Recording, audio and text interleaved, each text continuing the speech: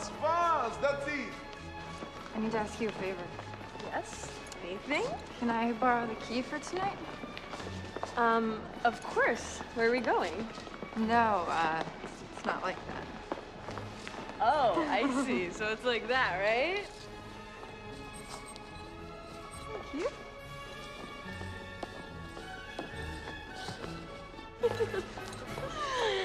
oh, long arm.